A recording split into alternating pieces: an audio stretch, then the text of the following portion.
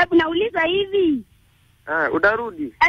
ati narudi, unataka nirudi kwako? Ndio. Na mbona unadanganya jina, unasema ndo msioka? Aya. Ah, ah, jamwambia, mwambie Evans, Evans, Evans. Kumbe alitudanganya alitudanganya jina. Evans, umewaambia msioka. Ametuambia Evans msioka. Evans Musyoka.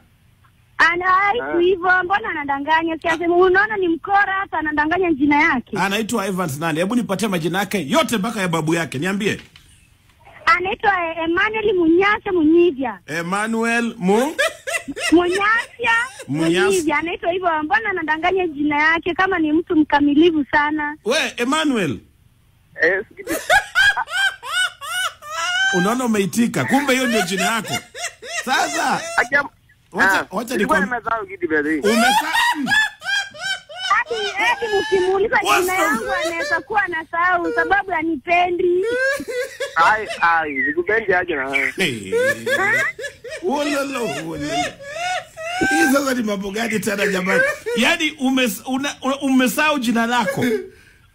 Hata yeye mwenyewe amesahau hadi jina yangu, hadi hadi amesahau jina yake, sababu ni mwenda wazimu huyo. Okay, ukisema mwenda wazimu unamaanisha nini Mary? Unajua unatush- unatushtua.